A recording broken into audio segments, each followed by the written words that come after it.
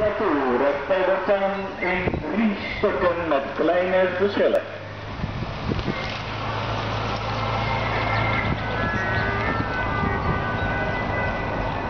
Peloton in drie stukken geslagen met kleine verschillen.